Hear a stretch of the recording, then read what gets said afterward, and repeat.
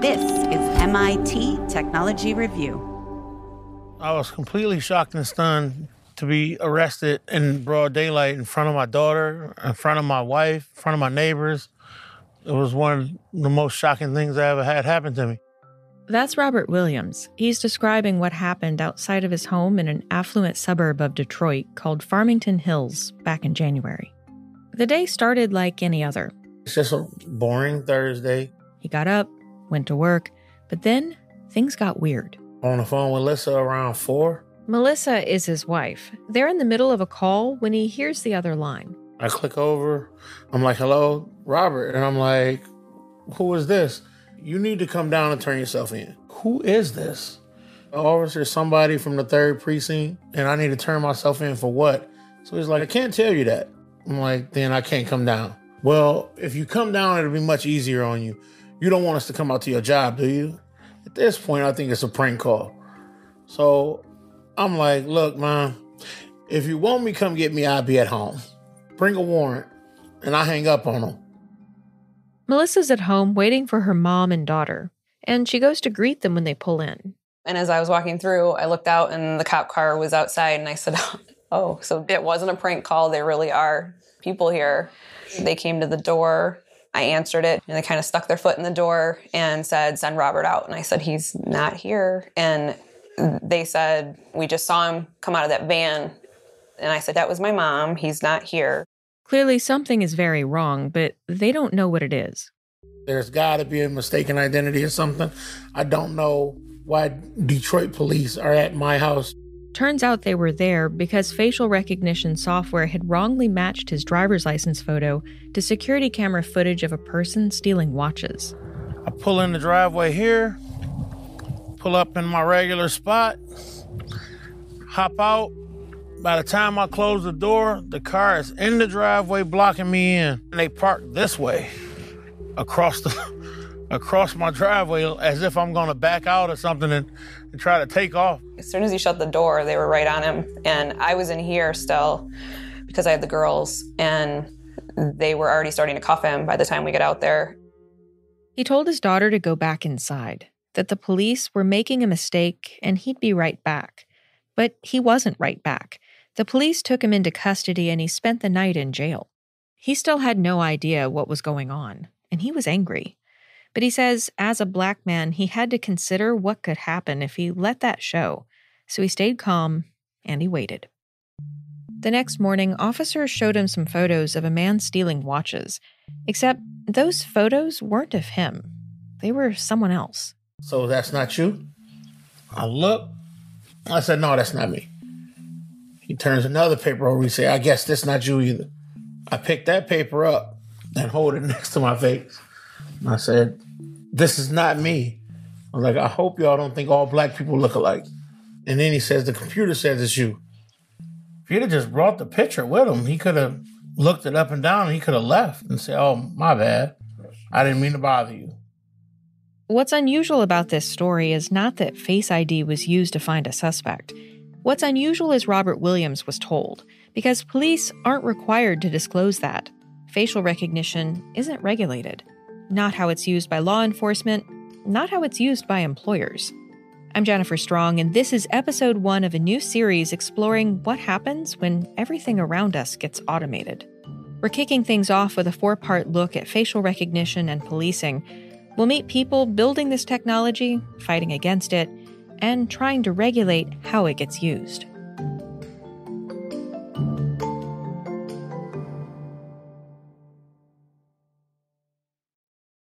Welcome to the Age of With.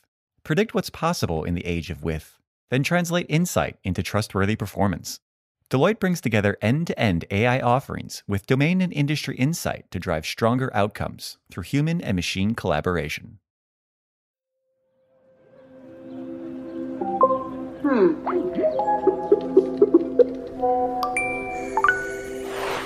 Let's go. In Machines We Trust, I'm listening. A podcast about the automation of everything. You have reached your destination. Think of it this way facial recognition is being used as a search engine for criminals, and your face is the search term. By 2016, the faces of half of all U.S. adults were believed to be stored inside systems police use to name suspects. Some refer to it as the perpetual lineup. But the nation may be at an inflection point, both in its relationship with policing and with this technology. In June, tech giants Amazon and Microsoft put a pause on selling their Face ID products to law enforcement. IBM stopped selling it altogether. Then New York City passed a bill providing oversight of all surveillance technologies, despite opposition from the NYPD. And after the wrongful arrest of Robert Williams came to light, Detroit police say they'll only use Face ID to investigate violent crimes, and they'll do it with still photos because those are more likely to produce an accurate match. But is it enough? Okay, so at the moment we're in East London in a place called Stratford. Peter Fussey is a criminologist at the University of Essex. I took a walk with him back in February before the pandemic. Which is historically been an area of a lot of deprivation, which had an awful lot of investment just before the 2012 Olympics, which was staged here. It's a spot where the London police tested cameras that match faces with identities in real time. You are part of a team working on a national surveillance strategy, is that right? So, we're part of a, a research project. We look at emerging technology and the, the, human rights implications.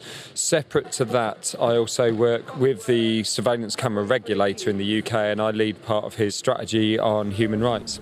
He studied technological surveillance for more than 20 years started looking at closed circuit television, CCTV cameras, the very familiar on street CCTV. I was always surprised by how little people seem concerned about it. I'd be you know, making an ardent case for, for why we should regulate, and it was largely met with indifference. And facial recognition seems very different. It's caught the public imagination, it's in the media on a daily basis.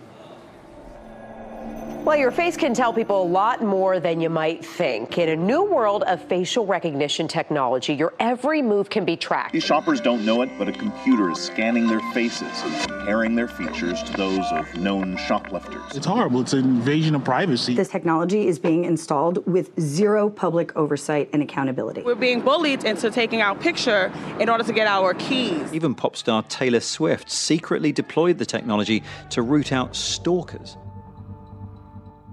But while the public outcry has led some places to ban the technology, including tech hub cities like San Francisco and Cambridge, Massachusetts, where MIT is based, London's police tested a highly aggressive version of it in 10 different public spaces. What you see in the UK is live facial recognition, which means that there is a database of individuals the police are interested in. Then, as the public walks past the camera, each of those people is scanned and then matched against that database. Here, you are enacting surveillance before you know any offence. It's one thing for a police department to hold up a photo of someone to try to identify them in a system, and it's something very different to have live identification happening in real time. Yeah, that's exactly right, and I think it's a really important part of the debate that often gets lost. The other difference is that existing cameras or low tech analog human surveillance doesn't involve biometric data, which is universally seen as an intrusive practice. And that special category of data has to be safely sorted and stored. And as he points out, no human can possibly process the volume that's being captured by these systems. That raises some serious questions about how proportionate that is, for instance, how necessary it is to biometrically scan tens of thousands of people just because you're interested in talking to somebody. Now, if it's a known killer on the loose or the example that's always given of a terrorist attack about to happen, then that's different. You can make a much stronger necessity and proportionality argument around that, but less so if it's just somebody you're interested in talking to about an incident of antisocial behaviour or, or something like that. Well, the other question I mean, you say humans can't process that information, but also it's unclear whether the technology can yet either. What happens if you're falsely identified? If the camera says that you are a suspect, you're somebody on the watch list, how many times do we know it's correct? In our research, we found it was correct eight times out of 42. So on six full days sitting in police vans, eight times. He did the only independent review of these trials, and he found it was accurate less than 20% of the time. It may work brilliantly in lab conditions, but you know, outside, like an environment we're in now, the light is fading, it's winter light. Much of the intelligence picture for a lot of the offences are linked to the nighttime economy, so facial recognition works less well in low light, and all sorts of issues around that. It's also less effective across different demographics. So not just ethnicity or race ethnicity, but also gender, and that you know then folds into a whole issue around transgender rights and age as well. You know, you say. For example, kids' faces are harder for the technology to read. That's because they're still developing. Why that's important is if the police are using a technology which is not as effective for different groups, then unless they are aware of those limitations and unless they can somehow mitigate against them, then it's impossible to say that they are employing a technology that is compatible with human rights. How do you align a human rights and a surveillance strategy?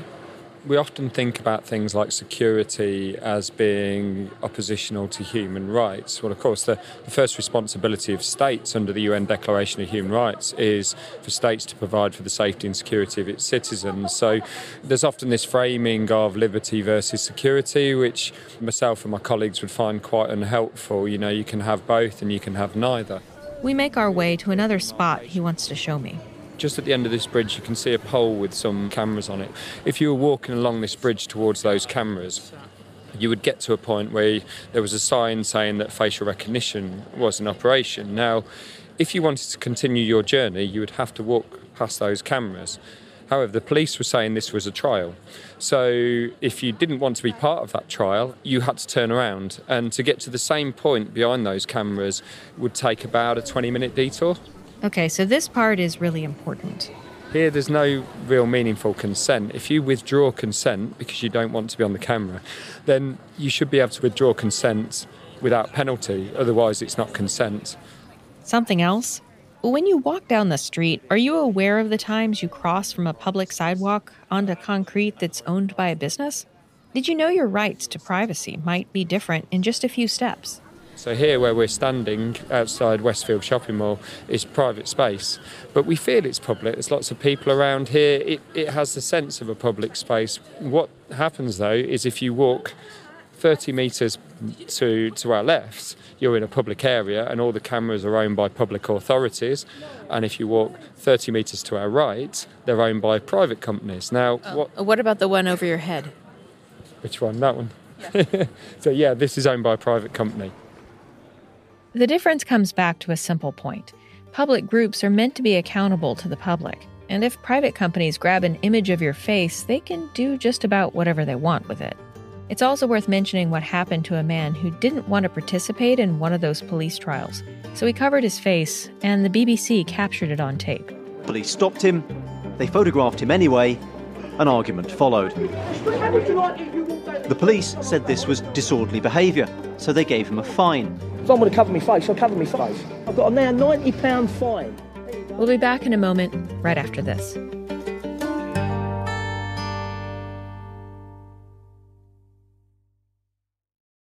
At Deloitte, we believe the age of with is upon us. What's happening around us? Shared data, digital assistants, cloud platforms, connected devices? It's not about people versus AI. It's about the potential for people to collaborate with AI to discover and solve complex problems. But for organizations to enable innovation and break boundaries, they must harness this power responsibly. Deloitte's trustworthy AI framework is a common language for leaders and organizations to articulate the responsible use of AI across internal and external stakeholders. Prepare to turn possibility into performance. To take a closer look at the Deloitte Trustworthy AI framework, visit deloitte.com/us/trustai.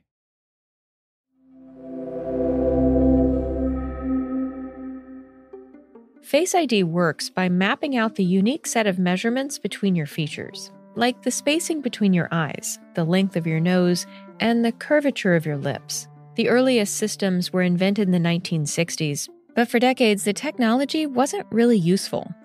Then, in the early 2000s, local law enforcement in Florida created a statewide face recognition program. A decade after that, Facebook invented a new way to start recognizing and auto tagging people in photos, rapidly improving face recognition to what we have today. Now it's widely used in airports and by police, but there's little transparency about what systems are used or how. Anytime surveillance gets legitimized, then it is open to be expanded over time. Hamid Khan is an activist fighting against the use of surveillance and many other technological tools used by Los Angeles police. And has historically been used to trace and track and monitor and stalk uh, particular communities. Communities who are poor communities who are black and brown communities who would be considered suspect queer trans bodies. It's it's it's a process of social control Khan created the Stop LAPD Spying Coalition, a group he describes as fiercely abolitionist. He doesn't think restricting the way police use Face ID will work. And so, during what could best be described as a tsunami of adoption, with debate mostly focused on best practices, his focus is on getting these technologies banned. Algorithms have no place in policing. I think it's crucial that we understand that because there are lives at stake. And it's been successful. Several data policing and predictive policing programs in Los Angeles ended after public and legal pressure from his group. To Khan, part of how we got to this moment is by changing the way we define and police suspicious activity. The definition is that it's observed behavior reasonably indicative of pre-operational planning of criminal and or terrorist activity. So you're observing somebody's behavior, not a fact but a concern that a person may be thinking of doing something wrong. Right? So this is now going into that speculative and hunch-based policing is real. What we do know, thanks to academic and government research, is facial recognition works best on white men. Hi, camera. I've got a face. Can you see my face? No glasses face? You can That's MIT researcher Joy Buolamwini giving a TED talk.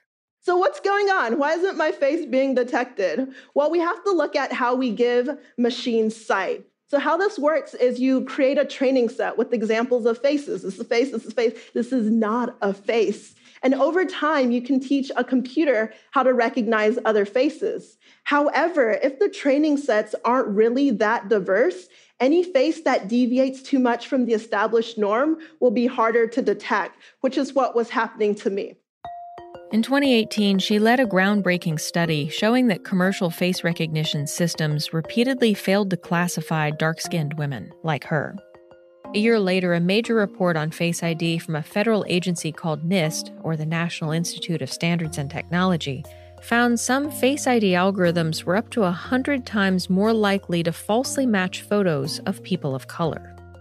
But even if these systems can be engineered to reach perfect accuracy, they can be used in dangerous ways, and these problems go deeper than just skewed data and imperfect math. Technology is not operating by itself from the from the design to the production to the deployment. There is constantly bias built in and it's not just the biases of the people themselves that is only one part of it. It's the inherent bias within the system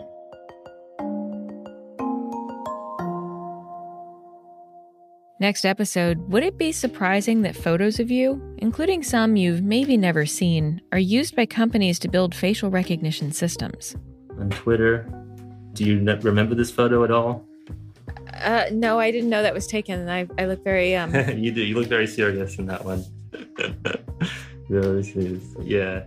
In part two, we meet the founder of one of the most controversial companies working in this space, Clearview AI's chief executive, Hoan Ton-That. This episode was reported and produced by me, Tate Ryan Mosley, and Emma Cillekens. We had help from Karen Hao and Benji Rosen. We're edited by Michael Reilly and Gideon Lichfield. Our technical director is Jacob Gorski. Special thanks to Kyle Thomas Hemingway, Eric Mongeon, and to the ACLU for sharing their recordings of Robert Williams. Thanks for listening. I'm Jennifer Strong.